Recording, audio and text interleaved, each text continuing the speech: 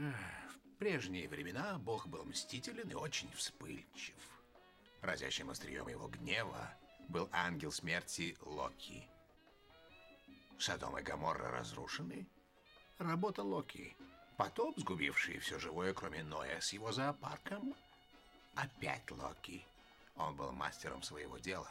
Но однажды он отказался от роли бича Божьего. Что так? Наслушался дружка. Григорийца по имени Барлдби. Григориец? Один из ангельского сословия наблюдателей. Сообрази, зачем они? Как-то Локи истребил всех перворожденных Египта. А десятая казнь. Говоришь человеку, что ты Метатрон, и ноль реакции. А вспомнишь эпизод, мелькнувший в пошлой экранизации, и все мнят себя теологами. Будешь еще перебивать?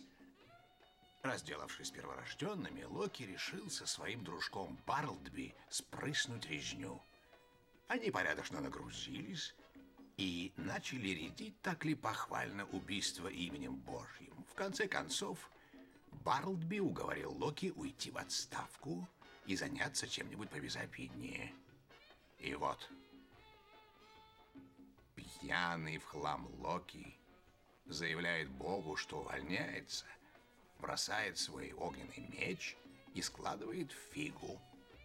В итоге все мы пострадали, Господь Бог разгневался, и ангелы теперь не переносят спиртного. С тех пор и плююсь.